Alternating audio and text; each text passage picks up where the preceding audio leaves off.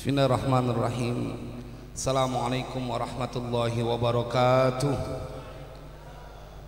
Alhamdulillahi rabbil alamin. Allahumma salli wa sallim ala sayyidina Muhammad Wa ala ali sayyidina Muhammad. Amma ba'du. Faqad qala Allah ta'ala fil Qur'anil karim. A'udhu billahi minasyaitanir rajim من minal mu'minina rijalu sadaqu ma'ahadullah alaih faminhum man qada nahbahu wa minhum man yantadhir wa ma baddalu tabdila. Sadaqallahul azim. Ayuhal jam'ul karim. Para pengharap ampunan dan keridhaan dari Allah Subhanahu wa taala. Yang semoga Allah berikan keberkahan dunia akhirat. Kalau dari wajah-wajahnya sebentar lagi akan mendapatkan keberlimpahan karunia dari Allah. Nanti kita akan ngaji bahwa duduknya kita di Masjid Al-Maidah ini akan dibayar oleh Allah. Nggak ada yang kita lakukan berupa kebaikan kecuali akan dibalas oleh Allah semuanya dengan dengan waktu yang sangat cepat. Nanti kita akan ngaji dengan waktu yang singkat.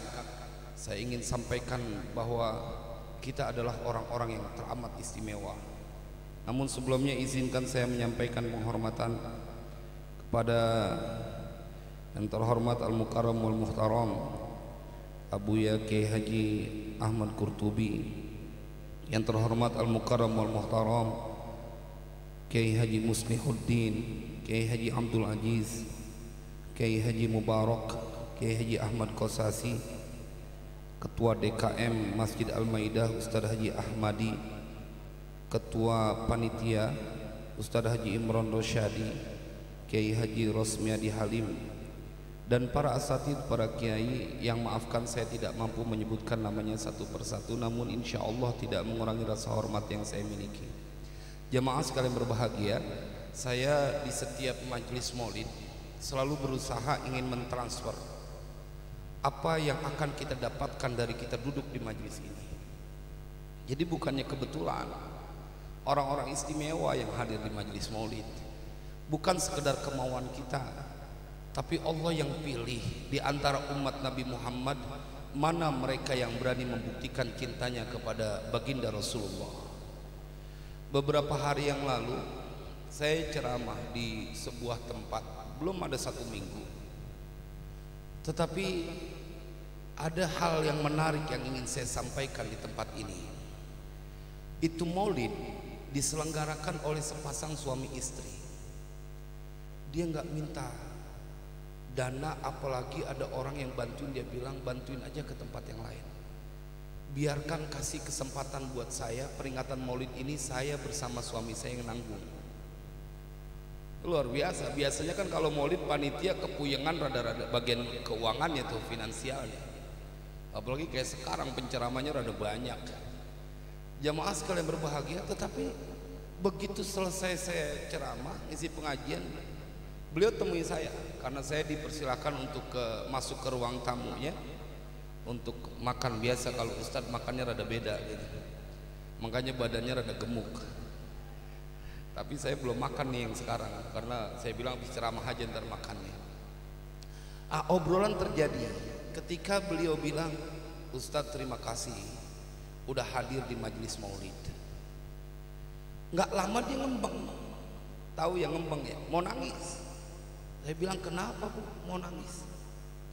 Saya bercita-cita setiap tahun menyelenggarakan maulid dan alhamdulillah ini saya bisa kesekian kalinya menyelenggarakan maulid. Jadi tiap tahun dia bikin maulid dia punya majlis taklim khusus karyawannya. Ada 40 orang kurang lebih. Jadi bapak kalau tahu itu piring yang suka kita datang ke tempat kawinan kalau makan somai makan buah-buahan tuh piring kertas itu produk dia tuh. Tetapi yang menarik nggak ujuk-ujuk begitu. Dia ceritain Ustadz kalau saya ceritain semuanya Ustadz ngikut nangis bagaimana ceritanya kita jadi ngikut nangis tapi memang kelewat sedih dia cerita kemudian awalnya jemaah sekalian berbahagia ini saya jadikan pembuka bahwa kita hadir di sini adalah orang yang sebentar lagi kalau benar karena cinta kepada Allah, sebentar lagi kita akan kebingungan karena begitu Allah manjakan kita. Jemaah, dia bilang, Ustadz tahun 2008, 2009 saya masih ngontrak. Bersama suami saya, saya masih ngontrak, punya anak baru satu. Saya punya motor Suprafit. Tapi Ustadz itu motor Suprafit selalu saya gunakan setiap kali saya mendengar ada peringatan maulid saya datengin. Di mana ada maulid nabi diperingati saya datengin. Ini suami istri. Saya kadang pulang jam 12 malam kadang pulang jam 1 pagi supaya kita nggak ada alasan kan kebanyakan orang ketakutan nih hari Senin besok kerja ente nggak tahu ente rajin kerja Senin sampai Jumat berbulan-bulan, bertahun-tahun, ente telatenin, ente taatin, itu cuma ukuran gaji 10 koma. Tanggal 10 udah koma. Iya benar. Tapi ente duduk di Masjid Al-Maidah memperingati Maulid karena cinta kepada baginda Rasulullah. Lihat apa yang akan kita dapatkan.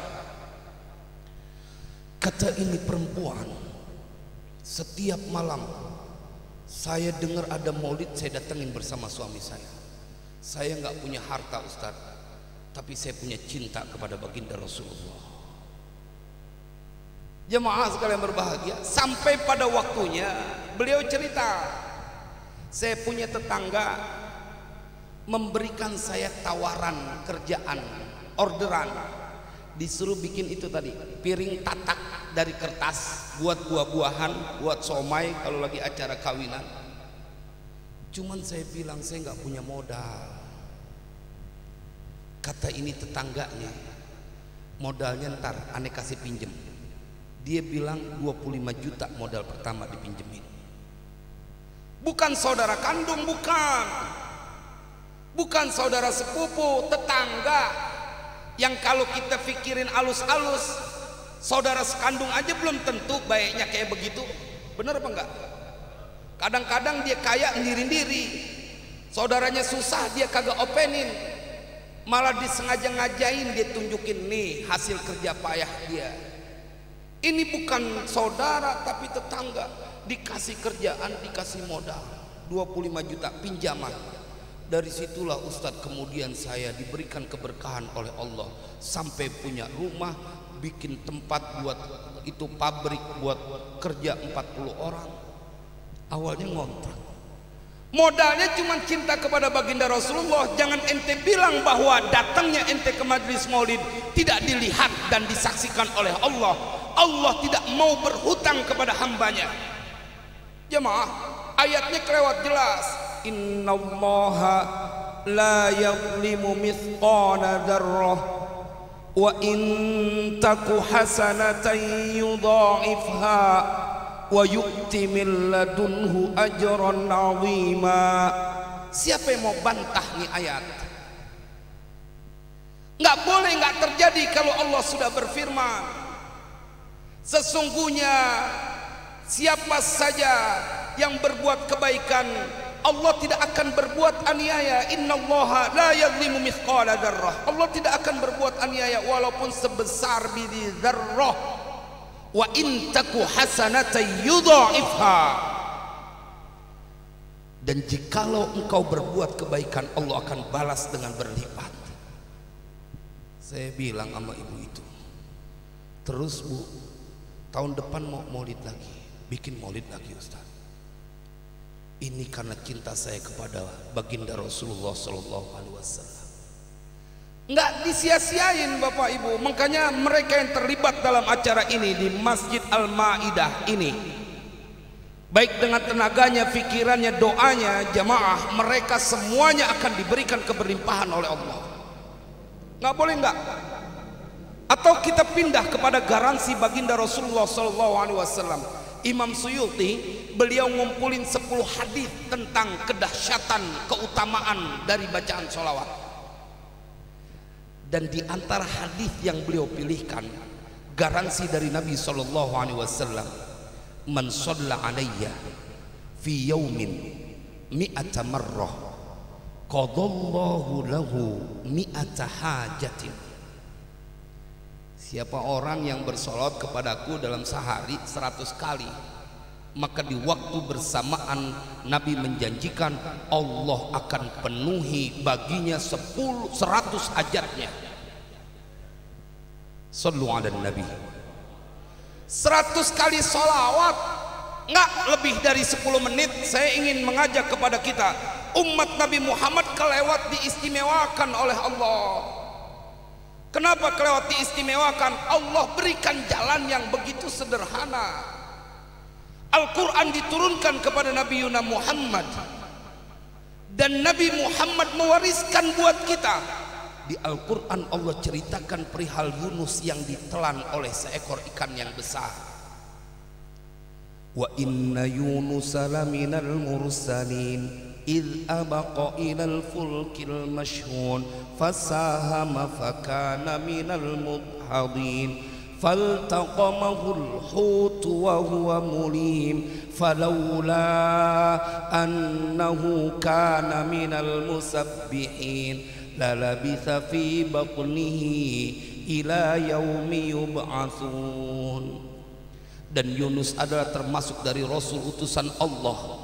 Ketika dia kecewa, putus asa, berdakwah, kemudian kabur naik sebuah kapal yang penuh dengan muatan. Di tengah lautan kapalnya itu berhenti, lalu diundi siapa yang namanya keluar akan dilemparkan ke dalam lautan. Yunus namanya keluar tiga kali dilempar ke dalam lautan.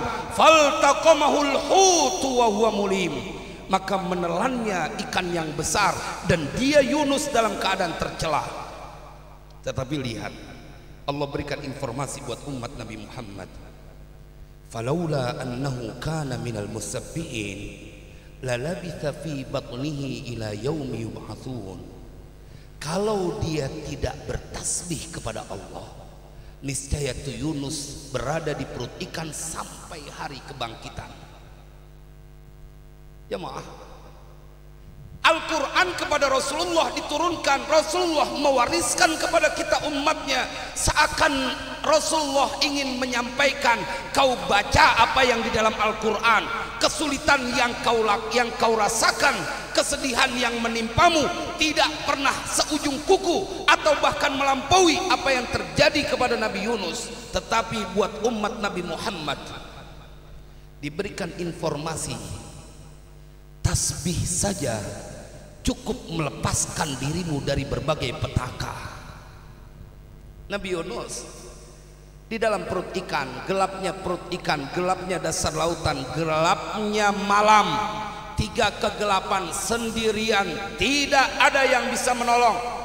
Dan Yunus alaihissalam tidak berdoa minta dikeluarkan dari perut ikan dia hanya bertasbih la ilaha illa anta subhanaka inni kuntu minal zalimin. Allah bayar tuh tasbih Nabi Yunus. Allah bayar itu tasbih Nabi Yunus. Lalu ente bandingin dengan solawat Allah sampai saat ini masih bersolawat kepada baginda Rasulullah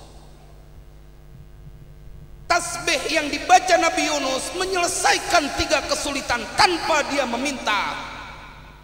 Bagaimana dengan solawat Allah menjanjikan siapa yang sholat malam sholat tahajud maqamam mahmuda. Bagi mereka yang sholat duha berlimpah rezeki. Bagi mereka yang sholat menepati waktunya untuk sholat diberikan kedudukan yang mulia. Jamaah padahal Allah hanya memerintahkan dan tidak mengerjakannya. Dikerjakan oleh umat Nabi Muhammad tidak akan pernah susah hidupnya. Lalu apa yang bisa kita bayangkan saat kita membaca solawat padahal itu solawat juga Allah lakukan kepada hambanya Nabi Yuna Muhammad. Nggak keukur Kayak apa mereka umat Nabi Muhammad yang mengekspresikan cintanya kepada baginda Rasulullah. Malam ini kita akan menjadi tahu kita boleh jadi anak dari orang yang biasa. Kita boleh jadi punya kakek bukan seorang kiai, tapi ketahuilah engkau adalah umat Nabi Muhammad. Itu yang bikin istimewa. Jemaah, ya, Ubay bin Ka'ab siapa yang nggak kenal Ubay bin Ka'ab? Seorang lelaki yang namanya disebut oleh Allah. Kita akan ketemu dalam Sahih Bukhari, Sahih Muslim. Ketika Ubay bin Ka'ab didatangi oleh Rasulullah dan Rasulullah berkata bahwa aku diperintahkan oleh Allah untuk membacakan Al-Quran kepadamu Ubay bin Ka'ab. Kayak apa istimewanya Ubay bin Ka'ab? Lalu Ubay bin Ka'ab bertanya hal samani laka ya Rasulullah Apakah Allah sebut namaku kepadamu ya Rasulullah? Naam, sama kali. Allah sebut namamu kepadaku. Fabaka Ubay, menangis Ubay bin Ka'ab. Begitu istimewa kedudukannya, tetapi kita akan ketemu perihal Ubay bin Ka'ab dalam Sunan Tirmidzi ketika beliau bercerita kepada Rasulullah, "Aku orang yang banyak baca salawat kepadamu ya Rasulullah." Jamaah Ubay bin Kaab terkenal doanya begitu tajam dan banyak berdoa. Tapi beliau satu waktu konsultasi kepada Nabi. Berapa yang harus aku baca salawat kepadamu ya Rasulullah? Kata Nabi, masyita terserah ente. Ar-rubu'ah seperempat ya Rasulullah, masyita fa in zitta khairun laka. Terserah ente Ubay bin Ka'ab kalau ente mau tambahin itu lebih baik buat ente. Hadis ini pada derajat hasan sohih. Ya maaf karena itu kita dengar. Ulama-ulama kita tempo dulu guru-guru ngaji kita kalau berdoa apik bener. Saya suka amatin dan tersusun tuh jadi tertib dalam doa. Kalau orang-orang tua kita dulu kalau berdoa kiai-kiai kita dulu itu baca sholatnya panjang Begitu selesai hamdalah Allahumma salli wa sallim ala sayyidina Muhammadin fil awwalin wa salli wa sallim ala sayyidina Muhammadin fil akhirin wa salli wa sallim ala sayyidina Muhammadin fi kulli waqtin wahin wa salli wa sallim ala sayyidina Muhammadin fil mala'il a'la ila yaumiddin wa salli wa sallim ala sayyidina Muhammadin hatta tarithal arda wa man anta khairul warithin. Kan begitu?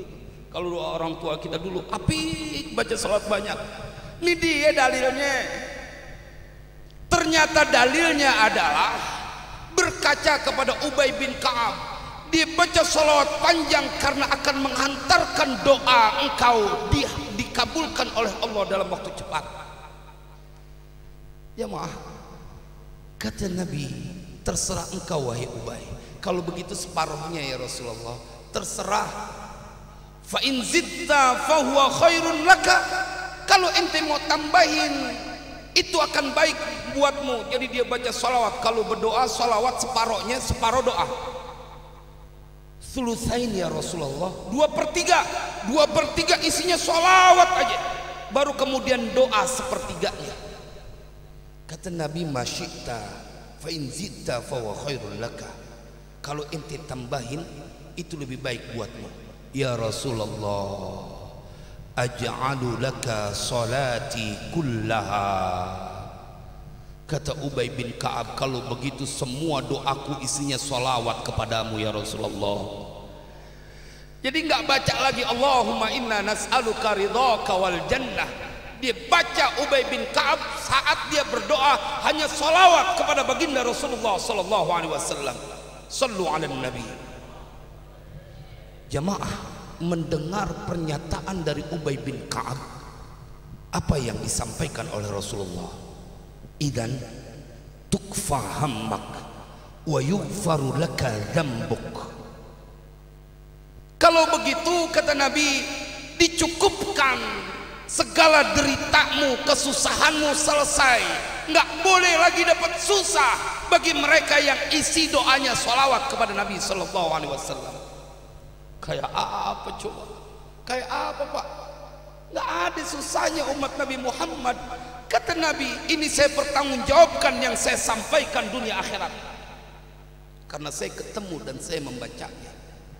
Dan setiap yang berasal dari Nabi maka tidak pantas kita meragukannya tukfa hammak dicukupkan atasmu wahai Ubay bin Ka'ab segala derita kesusahanmu tak boleh susah Maka itu yang saya bilang, kita boleh akan menjadi tahu bahwa siapa kita sebenarnya bila suka hadir di majlis Maulid Nabi Shallallahu alaihi wasallam. Bukan orang sembarangan. Masa dijanjiin sama bos di kantor kita yakin giliran dijanjiin sama Rasulullah kagak yakin. Dijanjiin sama bos di kantor kita bertahun-tahun kita telatenin kita kerja nggak ada ngeluhnya. Ini dijamin bukan lagi ente gajinya naik selesai semua penderitaan. Mana ada pemimpin seperti baginda Rasulullah yang menyayangi umatnya ketemu kita Presiden Republik Indonesia dari yang pertama sampai sekarang. Bikin statement semua rakyatku tidak boleh susah. Gak ada. Nabi Muhammad kelewat sayang sama kita. Nggak boleh susah wahai umatku. Karena nanti di yaumil kiamah engkau akan mendapatkan syafaatul uzma dari baginda Rasulullah. Hidup di dunia cuma 70 tahun 80 tahun kan kagak ada di sini yang pengen umurnya sampai 200 tahun cuman bentaran doang terus kita lagi mau mendapatkan kesulitan padahal dibentangkan jalan oleh Allah jemaah ada yang lebih ekstrim lagi saya berapa menit lagi nih Ki? Gak apa-apa. Ada yang lebih ekstrim lagi saya suka sampaikan supaya kita tidak lagi mencari kambing hitam. Benar, kerjaanmu serabutan, kerjaanmu belum diangkat jadi karyawan. Engkau bukan pegawai negeri. Jangan pernah ketakutan. Engkau tidak mempunyai warisan yang banyak dari orang tuamu. Nggak ada urusan. Malam ini semuanya jadi kecil karena kita umat Nabi Muhammad kita waduh kita buktiin jamaah ketika Allah ceritain di dalam Al-Quran orang-orang kafir Quraisy nantangin Allah wa idh qalu Allahumma in kana hadha huwal haqqa min indik fa'amtir alaina hijaratan minas sama'i aw itina di beberapa majelis maulid saya sampaikan ini karena ingin meyakinkan. Diceritain loh di Al-Quran orang kafir Quraisy nantangin Allah minta diturunin hujan batu dari langit kepada mereka atau siksaan yang pedih. Udah nggak percaya sama Al-Quran kan ini kelewat encer. Bagi Allah kelewat mudah. Allah ceritain dalam surat Al-Haqqah. Al-Haqqatu mal-Haqqah. Wa ma adraka mal-Haqqah. Kadzabat Thamud wa 'adun bil qari'ah. Fa amma thamud fa uhliku bitaghiyah wa amma adu fa uhliku birihin sorsorin atiyah Allah udah ceritain ada kaum Samud dan kaum Ad yang mereka nggak nantangin Allah. Enggak cuma nggak percaya sama hari kiamat. Kadzabat Samud wa adum bil qari'ah. Nggak sampai nantangin. Cuman ingkar. Kaum Samud kalau kita buka sejarahnya itu gunung disulap jadi istana dipahat sama mereka. Tapi karena nggak percaya kepada hari kiamat fa amma thamudu fa uhliku maka bermula adapun Samud itu mereka semua dibinasakan dengan sebuah suara lengkingan yang keras mereka semua bergelimpangan mati. Wa amma adun fa uhliku birihin sorsorin atiyah. Dan kaum ad dibinasakan oleh Allah dengan angin yang panas atau dingin selama tujuh hari tujuh malam delapan hari.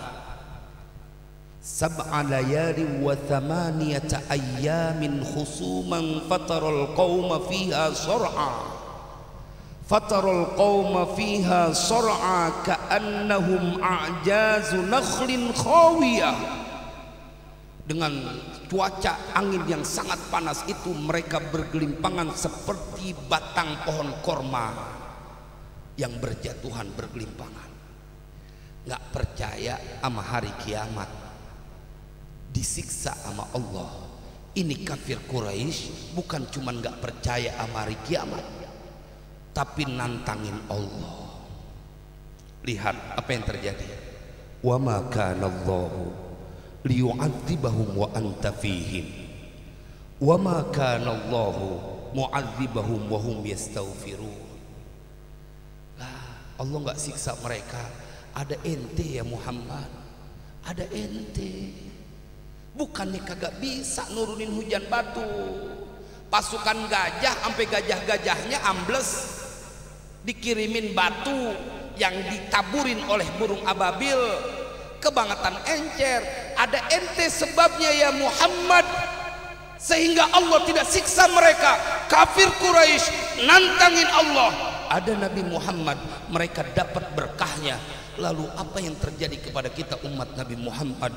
Dirasuk kerinduan di dalam dada kita Bertahan berjam-jam di Masjid Al-Ma'idah ini Karena ada sebuah kerinduan di dalam hati kita Untuk mengungkapkan rindu dan cinta kita kepada manusia yang teramat mulia. Kalau yang durhaka nantangin Allah minta diturunkan hujan batu tidak disiksa oleh Allah lantaran mendapatkan keberkahan Nabi Yuna Muhammad apa yang dibayangkan buat kita yang cinta kepada Nabi Muhammad? Gak susah. Wa ma kana Allahu mu'adzibahum wa hum yastaghfirun. Allah nggak siksa mereka kalau mereka masih istighfar. Ini keistimewaan umat Nabi Muhammad. Kita buka surat Nuh. Al-Quran buat umat Nabi Muhammad. Kalau kita baca istighfar, maka engkau akan berlimpah harta. Al-Quran yang ber, menyatakan ini semuanya. Innahu kana ghaffara. Yursilis samaa alaikum midrara wa yumdidkum bi amwalin wa banin ويجعل لكم جنات ويجعل لكم أنهارا ما لكم لا ترجون لله وقارا وقد خلقكم أطوارا Ya Rabbana istimewa banget umat Nabi Muhammad ente mau keluar dari kesusahan baca tasbih Nabi Sulaiman selesai atau ente baca salawat selesai. Atau ente mau ganti dengan istighfar. Diberikan hujan yang lebat kalau kekeringan. Wa yumditkum bi amwalin. Menjadi